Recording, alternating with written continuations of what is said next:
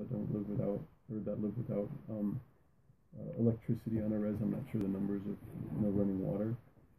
Right But the fact the fact that our people, our land has been exploited to by we have uh, three, four massive coal-fired power plants that operate on our our land, with one of the largest strip mines that has operated on our land by Peabody Coal Company, which is a transnational, massive What's uh, Peabody Coal Company. Mm-hmm. They're a massive um, coal company uh, that operates throughout the, the, the world.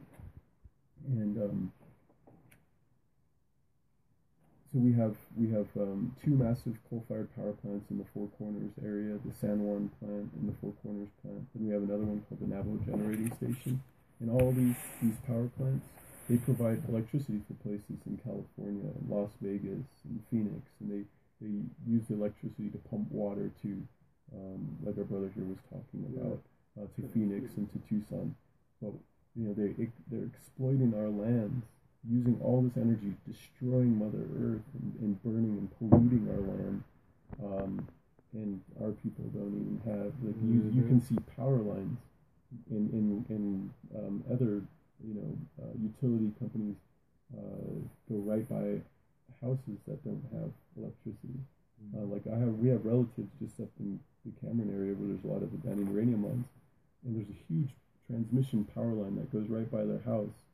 Uh, but at their house, the, the kids your age, they have to do uh, homework um, with just a lamp light, uh, oil lamp, or, or they have to turn on the generator um, to watch TV or play games if they're going to play them. So they don't they don't have that luxury of just being able to go into the bathroom and turn on the warm water and take a shower.